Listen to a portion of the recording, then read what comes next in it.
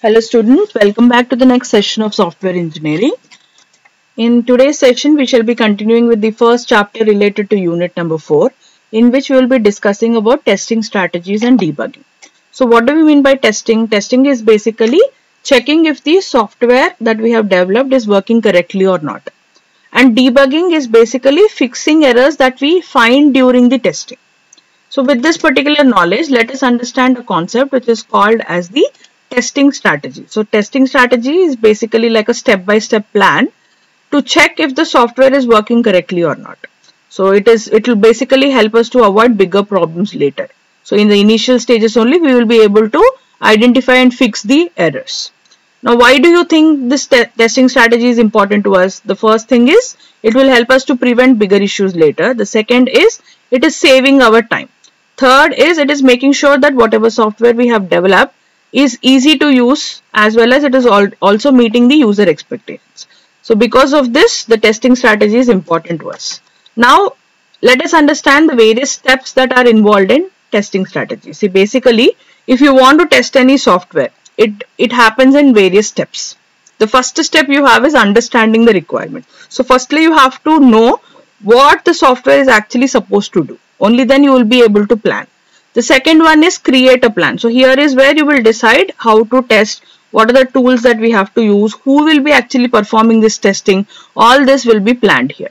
The next is design the test cases. So here you will be creating some check boxes as to which part of the software should we actually check okay or the test the next one you have is set up the test environment so here you will be making a environment where which will be similar to how users will be actually using our software.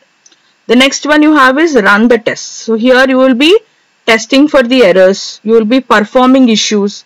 You will also, I mean, you will actually try to make a mistake and you will check if that mistake is actually caught while you are testing. So that is what you will be doing in the run the tests. The next one you have is fix issues. So you will be finding errors, you will be fixing it and again you will be testing that is called as fix errors. The next one you have is user testing. So here you will give your software to few of the real users. They will try the software and they'll see if it is working properly or not. The next one you have is document everything. So whatever you have tested, the plans, the results and all, everything will be documented. Be, be, uh, by that particular document, you will analyze it and you will prepare a report. Okay, you will summarize everything and you will check what what had gone correct, what did not, uh, what had gone wrong, everything you will prepare in a report. So with the help of this report, you will learn and improve. Okay, so with the help, with the feedback that you get from this particular report, you will improve the testing in the next time. So these are the various steps that are involved in the test strategy. Now let's talk about the types of testings that are done in this test strategy. So basically while performing testing, we will do four types of testing. Unit testing, integration testing, system testing and validation testing. So let's look into the details of it.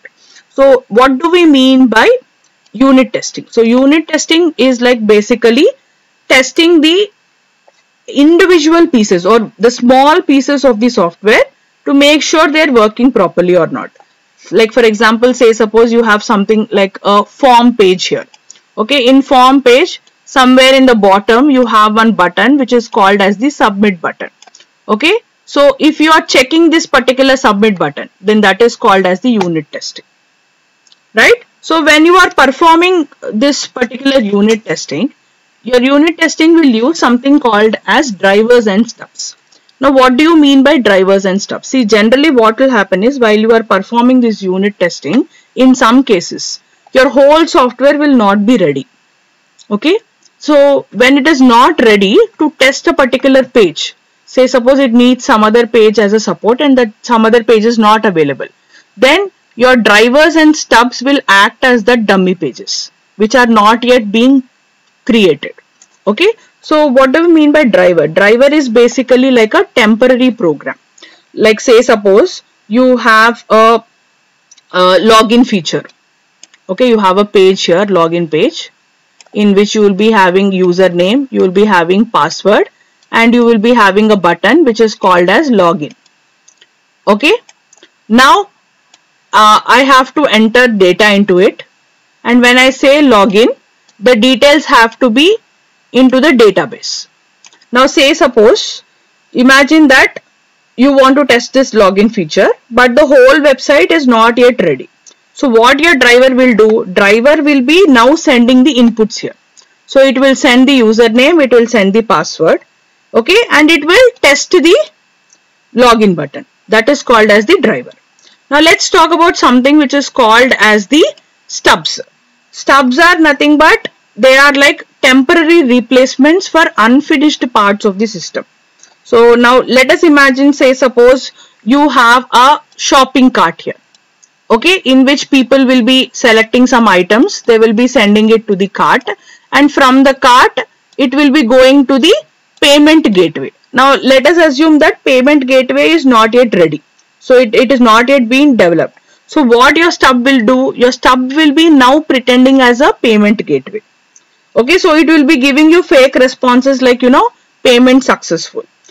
Okay so basically drivers and stubs are like dummy pieces which will be helping us to test some parts of the software though our whole software is not yet ready. That is called as drivers and stubs. Now let us talk about the second type of uh, testing which is called as the integration testing. So integration testing is basically checking if different parts of the software are working together smoothly. So best example you can take is say suppose uh, I have clicked on the login page. So I have entered username, I have entered password. Now I clicked on login. So when I click on login, if these details are valid details, then my login page should redirect me to the home page. Okay. So if my login page is successfully redirecting me to this particular home page, then that is called as the integration testing. So I'm testing here whether these two web pages okay are connected together properly or not. That is called as the integration testing. Right? So in integration testing, we will be performing two methods here. Top-down testing and bottom-up testing. So what do you mean by this top-down testing? This is basically uh, it starts testing the bigger parts first okay and then it will go to the smaller parts like for example it will start with the home page okay it will use some stubs if there are any uh, missing features like uh, carts settings and all. And then it will start digging into the inner parts. That is called as the top down. So from top we will be moving on to the bottom. So what is the topmost page in your website? Home page is the topmost page where it will be having all the menus. So first home page will be tested. After home page is completed one of the menu button will be clicked. That particular page will be tested then after that the second home page button will be the second uh, menu button will be checked okay so say suppose this is my home page which is having some say suppose some login page it is having some details page it is having some contact page these pages are there in my home page. So first home page will be checked. Once it is successful, my login page will be checked. Then after it is successful, my details page will be checked. Once that is successful, my contact page will be checked. So from top to bottom, if we are going doing this testing, that is called as the top down testing. Now coming on to bottom up testing. Bottom up testing is like starting from the inner parts and then coming out. Okay. So like for example, adding items to the cart. Okay, you start by add, adding items to the cart. Instead of home page, you will directly go to adding items to the cart and you will check whether I'm successfully able to add the items. And then you will go to the payment gateway and you will check, you will do a fake payment and you will say whether it is getting payment successfully or not. Okay, so going from the inner part to the outer part is your bottom up testing, right? Now let's talk about what do we mean by system testing. So system testing is basically like uh, checking if the entire software uh, as one single system is everything working properly together or not. That is called as the system testing. Now in system testing you have different types. The first one you have is the functional testing. So in functional testing you will check does the software do what it should do that is called as functional testing. So example, you can uh, take it like testing if you can add and remove items from the shopping cart or not. The next one you have is performance testing. So in performance testing, you will be checking can the software handle heavy use or not. Okay, like for example, say suppose a website is developed for 1000 users. What if 10,000 users are using it? Is my software being able to handle it or not? Or uh, it, if, if it is being developed for 1000 users, when 1000 users at a time are using, is it able to handle it or not? The, if that is being tested, that is called as performance testing. The next one you have is security testing. So here what you will be doing, you will be checking if the data whatever you have entered is safe or not. Okay, so whatever the passwords you have entered, are they encrypted or not? Everything will be tested in this security testing. The next one you have is compatibility testing. So here you will check does this software whatever we have developed is working properly in different devices or not. That is called as compatibility testing. So you will be testing if one of the web applic uh, sorry mobile application is working both in Androids and iPhones. Okay, that is called as the compatibility testing. So these are the four different types of system testing: functional testing, performance testing, security testing, and compatibility testing. Now let us understand about the next one which is called as the validation testing. So validation is basically test validation testing basically ensures that the software is meeting the user requirements. Okay. So under validation testing you will be performing two testings alpha testing and beta testing. Now what do you mean by alpha testing? Alpha testing is basically it is done by the developers in their office environment to check if whatever the application they have developed is working properly or not in their office computers. That is called as alpha testing. Beta testing is basically done by the real users. Okay. So in the real world conditions, like a trial version you are giving to a user and you are checking uh, if that particular application is working properly or not. So you're collecting the user feedback. Okay, that is called as the beta testing. So alpha testing is done by the developers, beta testing is done by the real users. Now let's talk about the next one which is called as debugging. So what do you mean by debugging? Debugging is basically it is a process of finding and fixing the errors inside the software. So for example, if in a login page, right, uh, you forgot the password. Okay, uh, say say for example your login page crashed so when you type a wrong password, your debugging should be able to find the problem and it should be able to fix it also. Okay. See you have you, you have entered username and password. You forgot the password. You gave a wrong password. So it should be giving you an option saying for, uh, click on forget password. So it will be giving you an option to re retype a new password or something. That is called as debugging. Right. Now Let's talk about debugging te techniques. So there are different ways to debug your software. The first way you have is the brute force debugging. So what you do here is you test all possible inputs to find the issue. So you give n different types of probabilities uh, of your uh, inputs to the software. Okay, and you will check how my software is actually performing. So for example, you are trying all passwords to see which one is causing a crash to my login page. Okay. The next method you have is backtracking. So backtracking is like you will start at a error and go backward step by step into the code. Okay. To check the root cause of that particular error. So example say suppose if a calculation is wrong.